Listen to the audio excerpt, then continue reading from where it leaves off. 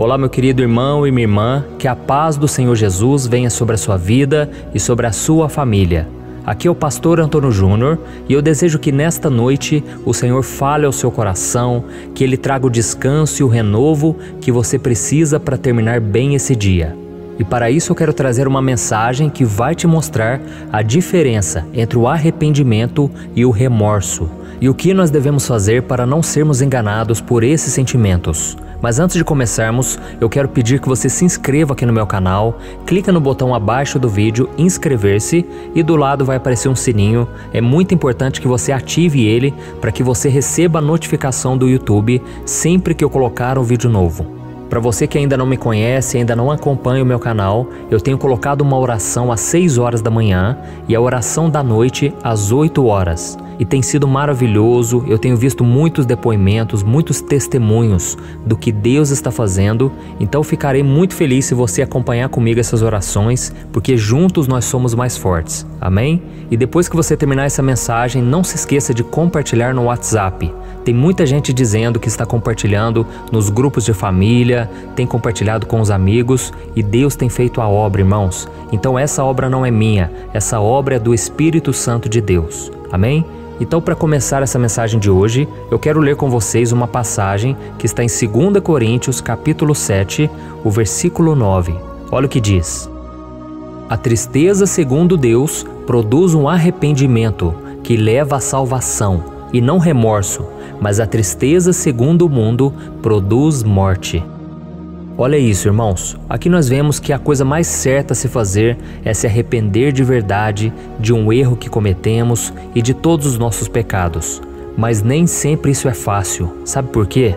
Porque o arrependimento tem a ver com você engolir o orgulho, reconhecer as suas falhas, demonstrar que você não é tão bom assim ou superior às outras pessoas.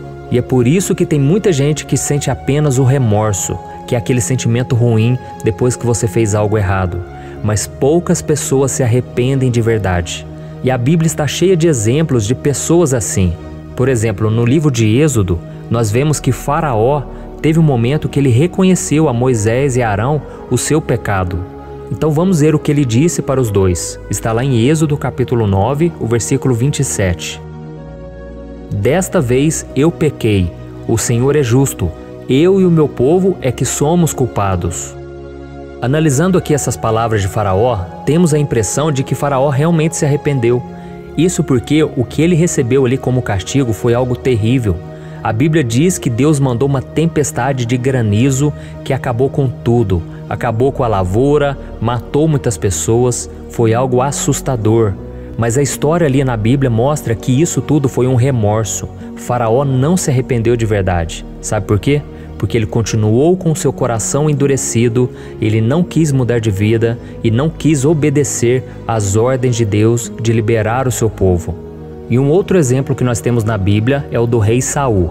A Bíblia conta que ele reconheceu ao profeta Samuel que ele tinha desobedecido uma ordem importante que Deus tinha lhe dado antes de sair para a batalha contra os Amalequitas.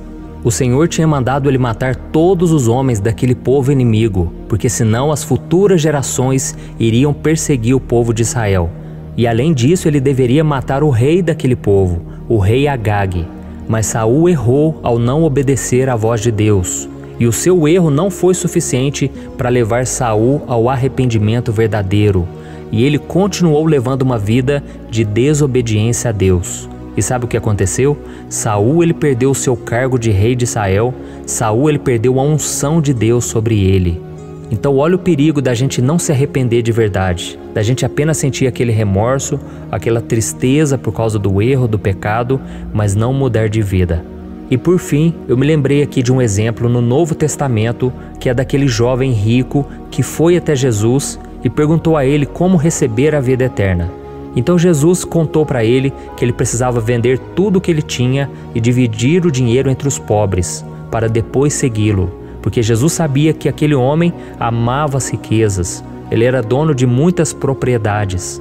E eu sempre costumo dizer o seguinte: ter muito dinheiro não é pecado, não é pecado você ser rico, Tanto é que a Bíblia traz muitas instruções para quem é rico, e ela diz que os ricos devem ser ricos de boas obras, de amor, de compaixão, mas a Bíblia mostra que isso tudo pode ser perigoso, porque quanto mais você tem, mais você fica apegado com isso, e se o seu coração estiver nisso, você não vai conseguir obedecer a Deus, fazer a vontade do Senhor. E a Bíblia conta então que quando aquele jovem ouviu de Jesus essas palavras, que ele deveria vender tudo e segui-lo, ele então virou as costas para Jesus, muito triste, por quê? Porque ele não queria se arrepender, ele não estava disposto a mudar. E sabe o que que esses três homens que eu falei para você, eles têm em comum? Eles sentiam remorso das decisões erradas que eles tinham tomado, ou seja, eles tinham em seu coração a tristeza do mundo, que produz apenas a morte. Então é importante nós aprendermos essa lição nesta noite. Tem muita gente que sente aquela tristeza, elas se lamentam quando elas começam a colher aquilo que elas plantaram. Elas ficam tristes quando percebem que perderam algo, que destruíram relacionamentos, que se machucaram, que tomaram decisões erradas, mas isso não significa necessariamente que elas estão arrependidas. Então, se você realmente se arrepender com fé em Deus, você não apenas vai sentir esse remorso, essa tristeza pelo que você fez, mas você também vai mudar o seu comportamento. Então lembre-se sempre daquela promessa do Senhor que está em 1 João capítulo 1, o versículo 9. Eu quero ler para você. Se confessarmos os nossos pecados, ele é fiel e justo para perdoar os nossos pecados e nos purificar de toda injustiça. Amém?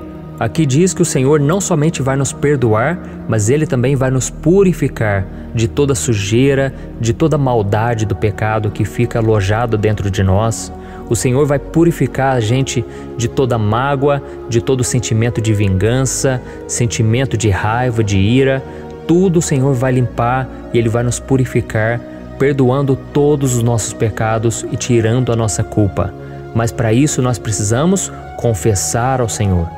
E é isso que nós vamos fazer agora. Você vai fechar os teus olhos, você vai orar junto comigo nesta noite e nós vamos pedir que o Senhor derrame da sua misericórdia mais uma vez. Pode ter certeza, irmão, Deus ele nunca rejeita um coração quebrantado, um coração arrependido. E o Senhor com certeza, ele quer restaurar a sua vida, mudar as áreas que para você é impossível. Glória a Deus. Vamos orar. Senhor meu Deus meu Pai, eu me coloco agora na tua presença nesta noite para te louvar pela vida desse irmão e dessa irmã que estão orando aqui comigo agora, meu Pai. Oh Deus, todos nós somos falhos, somos pecadores e por mais que tentemos, nós nem sempre conseguimos fazer aquilo que te agrada. Oh meu Pai, quando isso acontecer, meu Pai, eu peço que o Senhor nos lembre de que nós precisamos nos arrepender verdadeiramente para sermos perdoados que o nosso orgulho não nos domine, que a nossa carne não queira se sobressair ao nosso espírito. Oh, meu Pai, não deixe que o nosso coração fique endurecido como o de Faraó, o coração de Saul ou daquele jovem rico que se encontrou com Jesus. Oh, meu Deus, eles tiveram a oportunidade de ser perdoados e receber uma nova vida, mas preferiram continuar te desobedecendo e indo contra os seus mandamentos. Oh Deus, que a tua palavra seja sempre o guia na nossa vida, que a gente venha ter prazer em te obedecer, que o Senhor mostre para nós as áreas que ainda não foram tratadas, as áreas que ainda estamos sendo vencidos. Oh, meu Pai, nós cremos na tua promessa de que Jesus veio a este mundo para nos libertar das obras malignas, para nos purificar, para trazer a salvação e que a cada dia a gente possa estar firmado com Ele Oh Deus, tantas pessoas agora sofrendo pelas escolhas erradas que fizeram. Jesus, ajuda essas pessoas a se perdoar, a se amar. Oh Deus, quantas vezes as feridas na alma nos colocam para baixo, faz a gente perder o nosso valor, a gente achar que o Senhor nos abandonou. Tem misericórdia de nós, Senhor. Quantas vezes somos homens de pequena fé, homens e mulheres que não acreditam nas tuas promessas e reclamam para todo mundo e contam os seus problemas para todo mundo, mas não contam para o Senhor. Mas a partir de hoje, meu Pai, nós queremos viver em plena comunhão contigo e nós sabemos que isso só é possível através do arrependimento, porque nós somos falhos e pecadores. Senhor, em nome de Jesus, abençoa também a família de cada um de nós. Meu Pai, todos nós temos parentes que não aceitaram Jesus ainda. Abra os olhos de cada um, Senhor. Abra os olhos dos nossos irmãos, dos nossos pais, filhos, cônjuges, amigos. Senhor, abra os olhos deles para que eles se arrependam de verdade, para que eles não sigam somente uma religião, para que eles apenas não vão na igreja, mas que eles venham ter um encontro verdadeiro contigo, assim como nós tivemos. Ou, oh, meu Pai, que essa tristeza que muitas vezes toma conta de nós, que ela venha produzir algo de bom, que ela venha transformar a nossa vida e que a gente venha se alegrar também no seu perdão, nas suas promessas que são maravilhosas, que estão disponíveis para todos nós. Oh, meu Pai, não permita que nenhum dos teus filhos saia dos teus caminhos, mas que a cada dia a gente venha se fortalecer nessa corrente de oração e que a gente venha estar cada dia mais próximos do Senhor. Em nome de Jesus que eu oro e te agradeço. Amém. Glória a Deus. Aleluia, irmãos. Estou muito feliz por orar junto com vocês. Olha, vocês não sabem o quanto isso me faz bem. Todos os dias eu me coloco diante do Senhor e eu peço, Deus, que esse dia seja um dia maravilhoso, que nesse dia o Senhor possa me usar como instrumento e que as pessoas também possam me acompanhar com o coração sedento pelas coisas do alto. Por isso, meus irmãos, eu fico muito feliz quando eu vejo vocês comentando, vocês curtindo esse vídeo, porque isso ajuda o YouTube espalhar para mais pessoas. Então não deixe também de compartilhar nos grupos de WhatsApp, porque eu creio a palavra de Deus não volta vazia. Amém? Eu sou o pastor Antônio Júnior e eu te espero no próximo vídeo. Deus abençoe.